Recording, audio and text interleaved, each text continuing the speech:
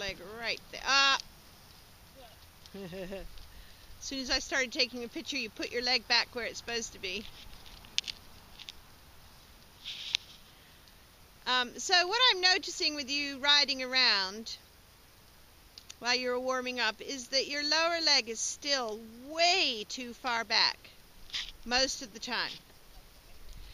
And the thing is that unless you change that, your base, that's your the what your your balance can be over.